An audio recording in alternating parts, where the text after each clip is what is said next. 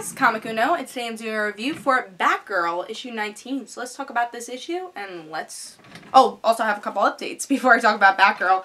Um, I have a couple of reviews on Dark Avenger Inc. that I usually do on Comic which are Uncanny X-Men issue 4, um, Wolverine issue 2, Fantastic Four issue 6, and Invincible Universe issue 1. So if you want to go check out those reviews, just go in the description below and there'll be a link for Dark Avenger so you go check that out. And guys, I also have a mention of a Kickstarter that I've definitely been following and I actually did a review for issue 0 which is on the Kickstarter page and it's a, a comic book called Devil's Pool and it's a really interesting comic book, really original. If you want to hear more about it, go to the Kickstarter page. My review's on the Kickstarter page, so go check out that review, hear how original it is, and uh, I think you guys should, you know, donate if you want, if you really um, are interested in the comic. So just go check out the Kickstarter page. You know, least you could do is check it out, see if you like it.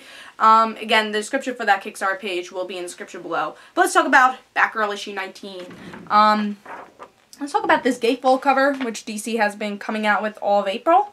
Uh, love this cover. When I first saw it, actually, um, when I first saw it, when the cover actually came out a couple of months ago, just just as this, I was like, this is interesting. We get to see um, Jim, you know, Jim Gordon. We get to see um, Barbara, you know, together. We don't get to see that that much in this series. I always want to see them confront each other. And does uh, Jim know that she's Batgirl? That's a question. And then we get this gatefold cover that just makes it more interesting. And I gotta say, this happens in this issue. So um, let's talk about this issue. We learn a little bit more about Jim's, um, Jim, uh, Jim Gordon Jr.'s past and a little bit about the relationship that Barbara holds with him. And we can find out a little bit about Barbara, you know, and I think this is so true. And I've been a, a Batgirl fan for forever. Know, I've read a lot of Barbara's stories beforehand as Batgirl and as Oracle. But, um, it's kind of true. Barbara doesn't have many friends, and, and they make a point of this in this issue because it does it does take an important part in this issue. Um, Batgirl doesn't have many friends, um, real friends. You know, she has a lot of Cape friends, and they're obviously her true friends, but she doesn't have a lot of friends as Barbara Gordon. She has a lot of friends as Batgirl.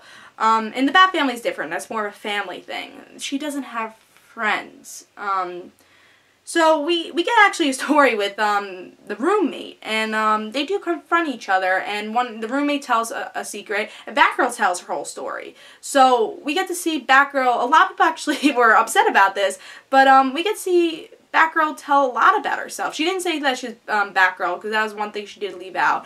But she tells her whole story about, you know, being in the wheelchair, about the Joker. And I think a lot of people were upset. It's like, oh, this relationship wasn't really... I saw a lot of people complain about this. Uh, the relationship, you know, wasn't really there. Why Batgirl say everything? It's because Batgirl doesn't... I mean, Barbara doesn't really have that many friends. And she wanted to confront, you know, tell her something about herself to make that friendship closer. And we get to see that with this whole entire this whole entire scene, honestly. I think it just make their friendship closer. That way they actually do have a friendship. And that's why Barbara does it. And that's how I, I'll explain this. As Barbara wants to have a friend. And I really did enjoy that whole entire thing. That way she does have a friend now. And they both confronted each other. And um, it made their friendship, or just created their friendship. So I really did enjoy that scene. And I thought, I thought it was good, even though a lot of people didn't like it. Um, now we have the main story. Um, which is Barbara confronts Jim Gordon Jr., James Gordon Jr. And um, James tells um, Barbara's mother, their mother, to meet them at a carnival, which is the last place they he smiled and was normal, or kind of normal.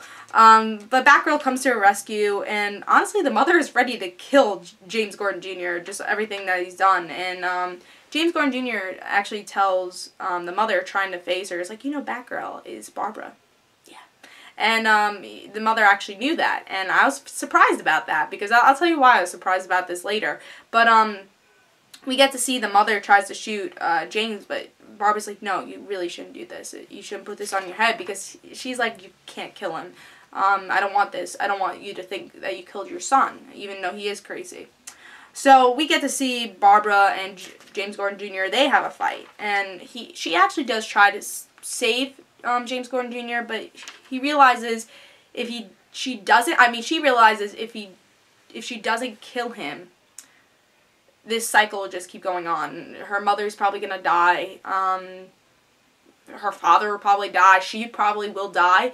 And she has to make a decision, or a quick decision, but she's like, I've done everything I can, and you know, this was my last decision. This is self-defense.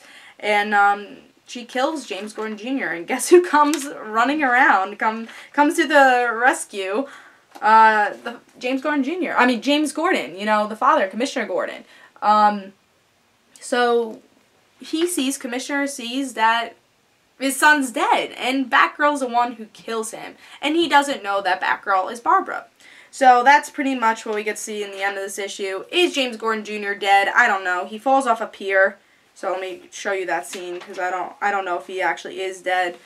Um, his body's there, you know, floating. Could he survive that? That's the question. I'll show you where Barbara pushes him over and pretty much gets him in the eye. Doesn't mean that he's dead. Um, and then we get to see James, um, Commissioner Gordon, looks at the water and he's not there. Did he just drift away, or does is he have more story?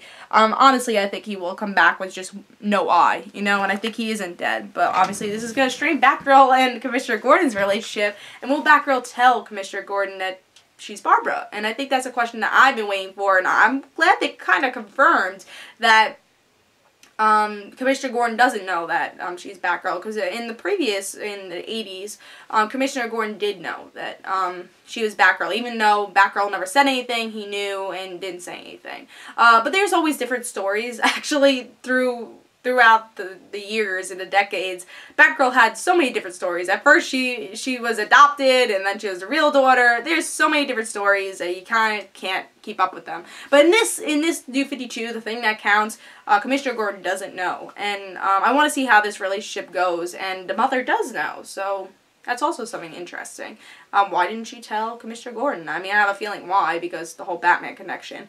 But I'm interested. I'm really interested. Um, the one thing I didn't like, which kind of lowered my grade just a tiny bit, um, was the James Gordon Jr. death. I enjoyed it. I think it's something that, um, or not death. I did enjoy it. I think it was something that left a good cliffhanger, but is he dead? Is he not dead? You know, um, do I want him to really come back in another story arc?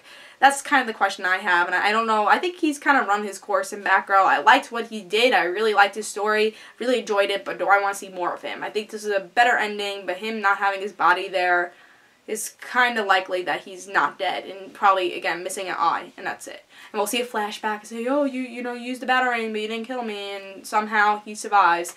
Um, so I'm kind of disappointed with that. But other than that, I really like this issue. There's a lot that happens uh, with Batgirl and this whole entire story. It's actually my pick of the week. I really enjoyed it. Um, again, a lot just happens with Batgirl that I think we've all been waiting for. You know, eh, things that were developing with James Gordon Jr., with really the family, um, really develops in this issue. And um, that's why I really enjoyed it. As a Batgirl fan, as a fan of the series, I really enjoyed it.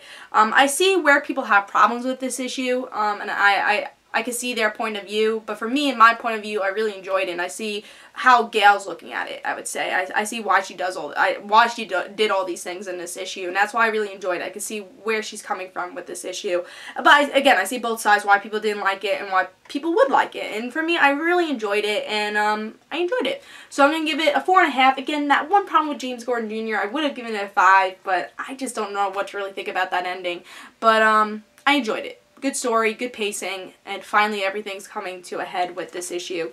Um, so pick it up. I give it a four and a half, and I hope you guys enjoy this Comic Uno. Guys, don't forget to follow me on Twitter for Comic Uno and the Random Situations, and I'll see you guys later. Bye.